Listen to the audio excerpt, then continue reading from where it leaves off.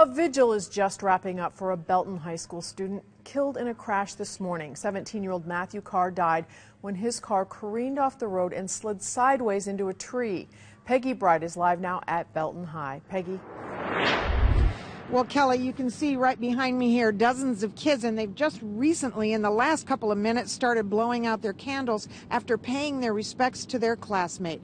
Matthew Carr was in his senior year at Belton High, working on getting his diploma through an alternative program that included night classes. The students tell us he was about to start a full time job. They say no one was more fun than Matthew. He was known as a good guy.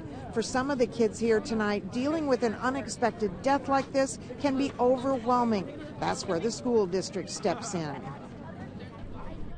Well, it's very somber there, naturally. A somber mood at school as students and staff absorb the news. Matthew Carr died as a result of this wreck. And kids can take events like this very hard. It could be any of us at any time. Uh, we, we don't anticipate a tragedy like this.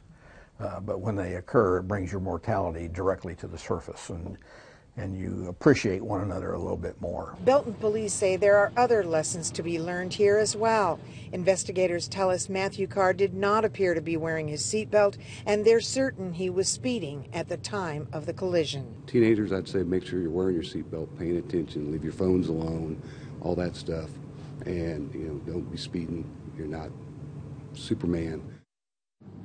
Sergeant Swanson says kids often have a feeling of being invincible until something like this happens. Some of the kids I talked to here tonight tell me they are going to be more careful now. We're live in Belton. Back to you in the studio, Kelly. All right, thank you, Peggy. Now, police are waiting for toxicology reports to determine if Matthew Carr was somehow impaired this morning. They're also trying to assess just how fast he was going. Crashes in cars and an ATV have claimed three teenagers' lives since this past Friday.